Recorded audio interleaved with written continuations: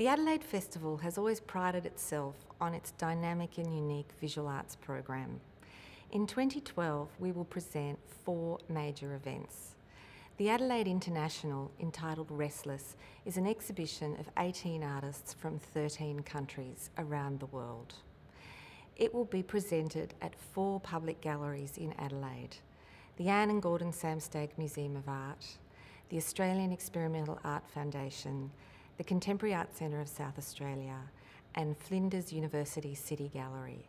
In this exhibition, the artists are seeking out threshold experiences.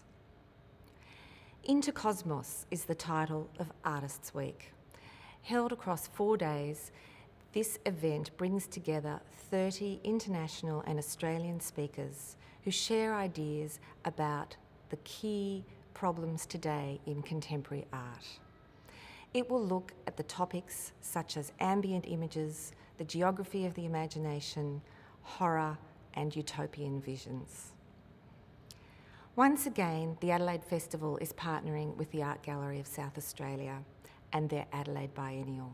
This is a long established survey of contemporary Australian art. The curators, Natasha Bullock and Alexie Glass-Kantor, have brought together 21 Australian artists who will all present new work.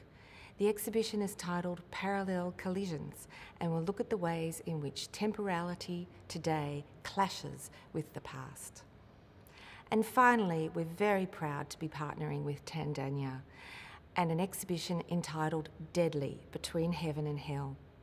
This exhibition will look at the work of eight Indigenous artists and communities who not only speak about their connection to country, but also about the uneasy legacy of colonisation and assimilation in this country.